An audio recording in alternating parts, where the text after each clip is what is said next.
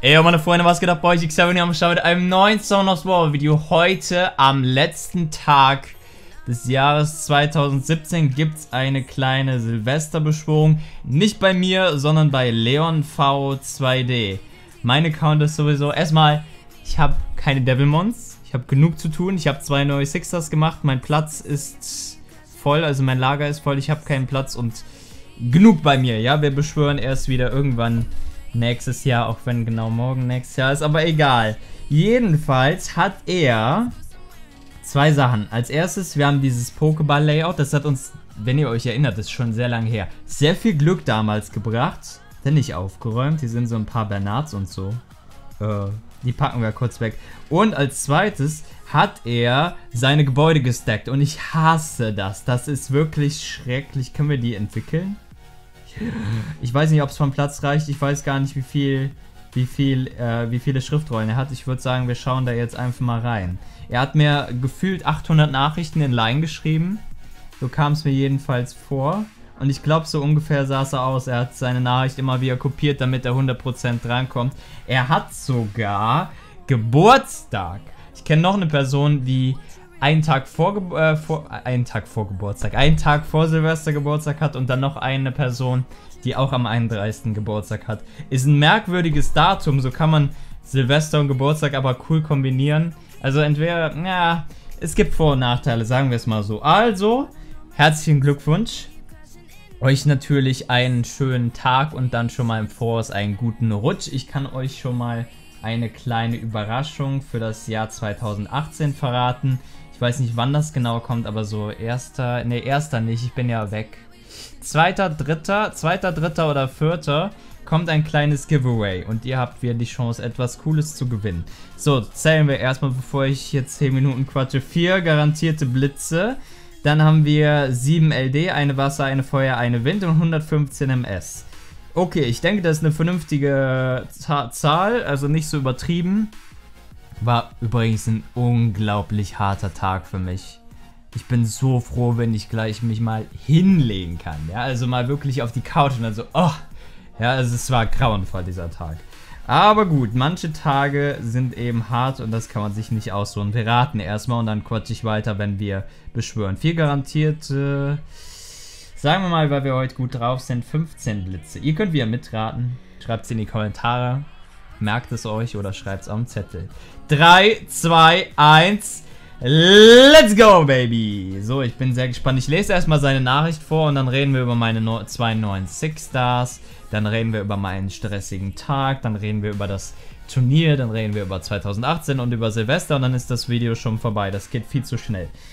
Lese erstmal vor. Hey Markus, kannst du an Silvester, meinem Geburtstag, für mich beschwören? Wäre echt nice. Schicke dir auf eine Antwort meine Daten. Wünsche.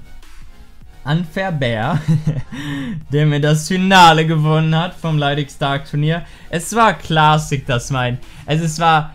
Ich freue mich so, dass, dass Win Panda das am Ende gewonnen hat. Das war so, so ein Schlüsselmoment in unserer Beziehung, wenn ich das so sagen kann. Ja, also ich habe ein sehr gutes Verhältnis zu meinem Win Panda. Ich glaube, das wisst ihr.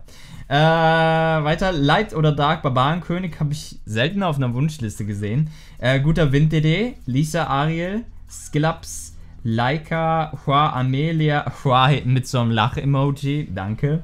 Amelia, Chow, Zyros, Rakan, Pangbeak, Ciara, Tesha, 3-Star Food. Selten auch, dass sich einer einen Wind-Dings äh, wünscht, Windpionier.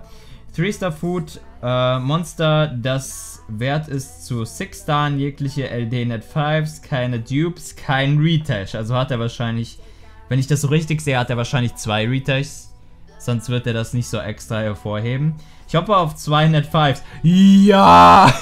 okay, also, wenn wir mal realistisch denken, ein Net 5 wäre drin. Aber so 50-50 würde ich sagen. Aber zwei Net 5s hast aber hohe Ansprüche. Und vielleicht auch ein LD Light. Da, da, darüber würde ich mich sehr freuen. Ich meine, wir haben jetzt seit mehreren Beschwörungen keine einzigen LD-Blitz mehr bekommen. Also vielleicht ist heute der Tag, und es wäre so ein schöner Abschluss 2017, beenden wir mit einem LDNet 5. Wäre mega. Äh, bitte Grüße Flo, Bene und alle Leidig Stark Member, insbesondere die Leidig Stark 3 Member. Viele Grüße an euch. Seid coole Leute und äh, bitte alles ins Lager und bitte Runtipps zu guten neuen Monstern aus der Beschwörung. Werden wir natürlich machen. Vorausgesetzt, ich vergesse es nicht, wie meistens bei Videos, aber ich gebe mir heute sehr viel Mühe. So, eine Sache, die ich noch ganz kurz ansprechen wollte, bevor wir zu dem Turnier kommen und zu Silvester und so und zu meinen neuen Sixstars. Wenn ich nicht zu den Sixstars sage, also wenn ich nicht dazu komme, dann seht ihr die im nächsten Video. Ähm, ich habe in letzter Zeit Probleme mit meiner Audio. Das war so, also ihr habt es vielleicht ab und zu schon mal mitbekommen. Also sehr selten. Also jetzt vorgestern in dem Video, in dem in dem Annabelle-Video? Ne, was war das für ein Video? Ich weiß es nicht mehr. Belagerungskampf-Video. Ne. Raki-Video. I don't know. Raki X Ana oder so habe ich das jetzt mal im Voraus genannt. Ist noch gar nicht hochgeladen. Da habe ich zwischendurch so ein unschönes Geräusch in der Audio. Das ist dann so, keine Ahnung, kein... Es ist dann nicht, dass ich zu laut bin, sondern so ein Störgeräusch. Das ist dann irgendwie so... Also so ein ganz hoher Ton. Das nervt mega. Deswegen schneide ich das raus. Falls das nochmal heute vorkommen sollte, wundert euch nicht, wenn zwischendurch kleine Partien fehlen. Das war bisher immer nur so 4 Sekunden oder so, also war nicht so schlimm. Ich denke auch, dass ich das behoben habe. Weil gestern hing mein kompletter PC. Wir ziehen jetzt immer diese dummen Würfel. Jetzt geht weg. Äh, gestern war mein ganzer PC irgendwie laggy. Wir haben gestern Abend noch ein bisschen was zusammen gezockt. Und äh, da hing es bei mir auch. Und dann habe ich meinen Laptop neu gestartet.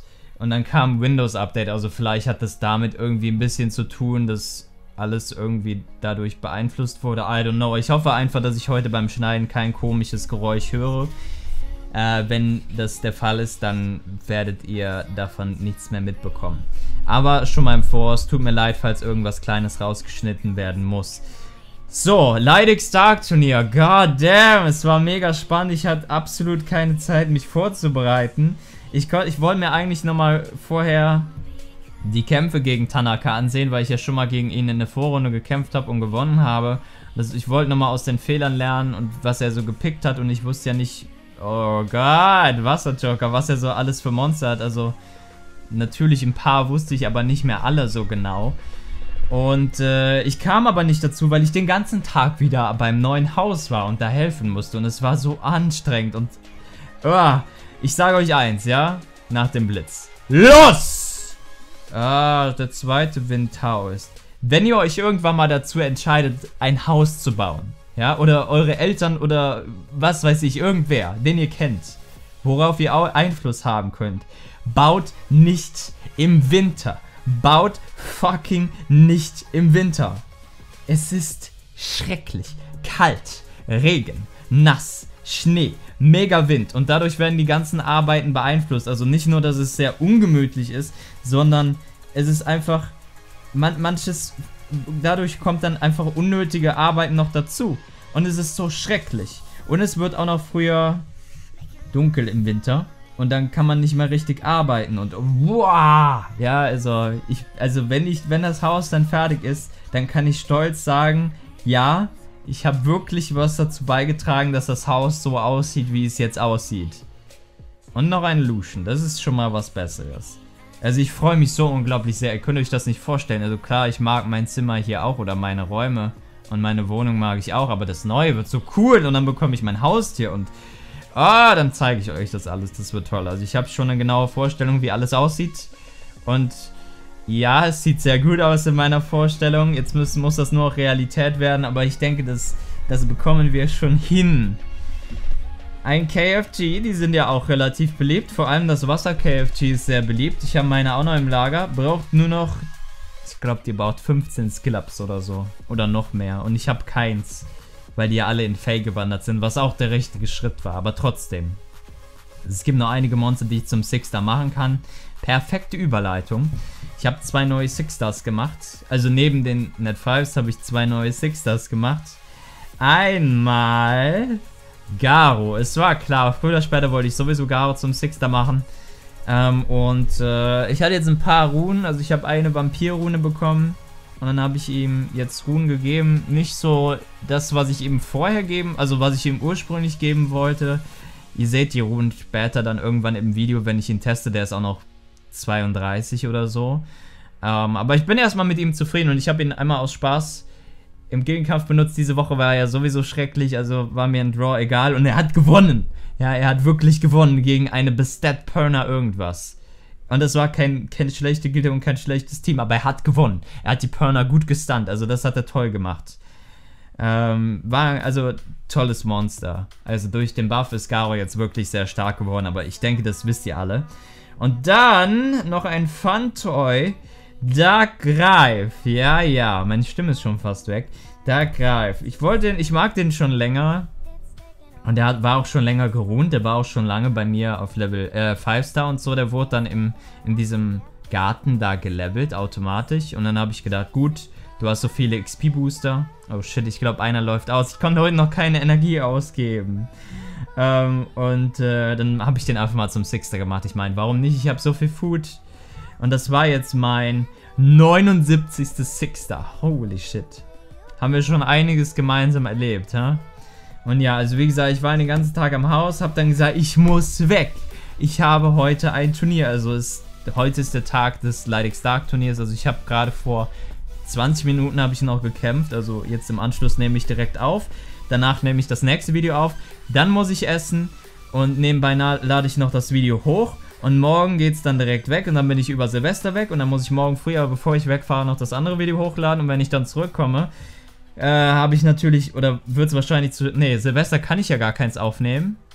Also deswegen nehme ich heute zwei auf, damit ich eins im Voraus habe und dann kann ich direkt das hochladen, wenn ich zurückkomme und dann kann ich direkt das nächste aufnehmen. Stress pur, oder? God damn, was tut man sich manchmal an? Aber so ist die Hilfe am Haus, das muss ich einfach machen, also da kann ich mir Schöneres vorstellen, vor allem meine geliebten Ferien. Ja, der perfekte Moment zum Ausschlafen. Früh aufstehen, Markus. Und ich so, oh nein, warum? Und dann so, geh doch früher ins Bett. Ha, ha, ha, ha. Wenn das so einfach wäre, 5 Uhr morgens. Okay, das ist ein bisschen übertrieben. Ich weiß, ich sollte das ändern, aber... Oh, ich, ich komme mir so vor, als wäre ich schon tot, bevor Silvester ist. Und dann sagt die so, ja, also viele Grüße an dich. Ähm, sagt sie so, ja, wahrscheinlich werden wir nicht schlafen und ich denke mir einfach nur so, okay, das kenne ich von den letzten Tagen irgendwie. Also ich meine, mein Schlaf kann man an, an zwei Händen abzählen von der, von der letzten Woche so ungefähr. God damn, ich will wieder ausschlafen. Aber ja, die Nächte waren jedenfalls sehr schön. Mehr sag ich nicht. Nein, Spaß. Ähm, aber so anstrengend in letzter Zeit und das nennt man Ferien und ich dachte, ich habe endlich mal Zeit ein bisschen zu entspannen und da ist Garo der coole Boy. Der ist echt stark. Und natürlich sind alle Ninja Skill-Ups in den ersten Skill gerutscht und der zweite hat noch nix. Ja, aber das dann hat trotzdem geklappt, auch wenn die Rate noch verbessert wird mit Skill-Ups. Ja, ja, ich hoffe, ihr feiert schön. Ähm, und äh, ihr habt einen schönen Tag oder einen schönen Abend und 2018 wird hoffentlich ein ganz tolles Jahr für uns alle. Und ich denke nur, bei mir ist dieses Jahr so viel Shit passiert. Wenn ihr trotzdem noch irgendwie. Ich hoffe, ihr schafft es trotzdem irgendwie noch immer am Ende des Jahres zu lächeln, auch über alles, was Schlimme passiert ist. Lernt daraus und äh, Nutzt es, um es im nächsten Jahr besser zu machen oder darauf vorbereitet zu sein. Ja, manches ist, manche Sachen sind wirklich so schrecklich, aber ich denke, 2017 war ein guter Lehrer. Ja, ja. So, ähm, und äh, ich denke, durch gute Freunde kriegt man das alles wieder hin. Also wenn, ich habe dieses Jahr so, also so ein paar, also zu ein paar Leuten so so eine gute Verbindung aufgebaut. Das macht mich unglaublich glücklich. Fühlt euch angesprochen. Ein Herz für euch. Das war wirklich toll. Ein paar Leute sind auch verloren gegangen, aber ich denke, sowas ist immer normal. Und äh, ich wollte gar nicht so eine moralische Ansprache machen, aber es tut mir leid. Net 5! Ah, Trevor. Und dann, äh, naja, manchmal, manche Leute muss man einfach gehen lassen. Man kann keine Leute zwingen. Äh, dass die in eurem Leben bleiben und das würde euch gar nicht gut tun. Also manchmal muss man auch einfach Goodbye sagen. Und dann kommen auch wieder neue Leute dazu. Und äh, ja, ich, ich, ich schaue in letzter Zeit zu viele von diesen Sprüchen auf Twitter, deswegen rede ich gerade so wirres Zeug. Aber ja, ich hoffe einfach, dass 2018 schön wird. Und äh, ja. So, jetzt zu Summoners War. Wollte ich noch irgendwas sagen? Ich glaube nicht. Ähm, wir haben gerade auch Trevor gezogen und jetzt so die, also die sind so momentan die, also Trevor war so damals so ein mega beliebtes Feuerforster DD, also Feuerforster DD und jetzt ist so Garo viel öfter, also jetzt sieht man Garo viel öfter als Trevor und ich muss sagen, ich habe Garo sogar eine Rune von meinem Trevor gegeben und ich benutze Trevor irgendwie nicht mehr so gerne. Das liegt aber daran, dass mein Trevor ähm, zwei Runen verlieren musste für meinen Leo. Und dadurch wurde dann Trevor schlechter, weil ich nicht mehr so viele gute Vampir-Runen übrig hatte. Und äh, dann habe ich ihn einfach seltener benutzt und jetzt kam noch Garo dazu und dann dachte ich so, ah, du benutzt Trevor ja sowieso kaum noch, dann gib Garo noch die Rune und dann wird Garo besser und Trevor packst dann erstmal wieder ins Lager. Also, ich muss sagen, ich finde Garo irgendwie momentan spaßiger als Trevor. Der ist einfach so, so cool. Auch wenn Trevor nach wie vor ein sehr starkes und gutes Monster ist. Garo ist also vom Beliebtheitsgrad auf jeden Fall definitiv weiter oben momentan. So, die Blitzrate muss ich sagen, also ich habe nicht gezählt, aber was so, was ich jetzt so bemerkt habe, ist ziemlich gut. Nur das Net 5 war noch nicht da. Vielleicht kommt ja wirklich aus der LD. Das wäre natürlich der absolute Wahnsinn. So, wir haben eine Wind. Tiana, Ciara. Eine Triana, fast. Fast eine Tiana, ha? Ein Feuerhag und Poseidon. Oh, Lightning. Nice. Verat, Verat. Ah, noch eine Emma. Cool. Also die Skid-Ups hätte ich sehr gerne. So, jetzt machen wir die LDs auf. Wir wollen einen Blitz haben. Er wünscht sich ein Net 5. Komm, es ist sein Geburtstag. 3, 2, 1, let's go, Baby! Komm, bitte wenigstens einen Blitz aus diesen LDs. Ich habe zu lange keinen Blitz mehr bekommen, also der Dark-Dings ist natürlich mega. Habe ich auch als Sixter für T.O.A. Hard. Apropos T.O.A. Hard, dafür hatte ich auch noch keine Zeit. Oh Gott. Oh Gott, aber morgen seht ihr, also was ich gleich aufnehme, RTA 4-Star-Kämpfe. Bin schon gespannt. Ob ich tilte oder ob es klappt. Lightning! Yes! Los! Wer ist das? Eine Michael. Sehr gut, sehr gut, sehr gut. Schickes Monster, sehr stark. Also richtig gut. Yes, ein guter LD-Blitz. Das ist schon mal immerhin etwas. Wenn jetzt noch ein Net 5 käme aus den legendären, dann wäre es natürlich perfekt, aber ein sehr gutes Forster LD. Nicht das beste Forster LD, also ist kein Fordam, aber ist schon, hat, zeigt schon Qualitäten. Michael, oh, back to back. Wow, zwei Lightnings, los! Dover, nice. Zwei sehr gute Forster LDs. Kein Net 5, aber ich denke, das ist ein guter Abschluss vom Jahr 2017. Holy shit, nice. Sehr gut. Oh, und ein Net 5. Ich meine, es ist eine Brandia. Ich mag Brandia. Ich hoffe, er mag auch eine Brandia. Die meisten mögen Brandia nicht, aber das Eisen ist heiß, wir sollten beschwören. Los! Was ist das? Tyron? Ja. Und noch ein Net 5, please. Brandia ist cool. Net 5 ist da. Das ist eine Chloe. Oh oh. Oh oh, ihr wisst, was diese Chloes heißen. Ich habe immer Angst bei Chloes. Okay, ein Brownie. Gratz, Gratz, Gratz. Er hat keine Brandia, oder? Ne, er hat Perna. Ich meine, neues Net 5 ist immer schick. Oh, er hat auch Okeanos. Noch nicht Six-Star? Doch, Six-Star, aber noch nicht, oder? Five-Star. Ne, Six-Star, aber noch nicht äh, Max-Level. Wow, Brandia ist cool. Also, ich meine, es ist ein neues. Also, ich hoffe, er freut sich. Ich hoffe es. Zählen wir mal. Und der Trident ist auch noch nicht Six-Star. Der kein... Oh, er hat Mananen. Nice. Okay, ich denke, das war ein sehr guter Abschluss. Wir schauen uns jetzt mal, wir zählen erstmal die Monster. Eins, zwei, drei, vier, fünf, sechs, sieben, acht, neun, zehn, elf, zwölf, dreizehn, vierzehn, fünfzehn, sechzehn, siebzehn, achtzehn, neunzehn, zwanzig. Holy shit, 20 Stück. Mega gute Lightning-Rate. Okay, ich sag dir was zu den besten Monstern. Hm, Dover. Kommt drauf an.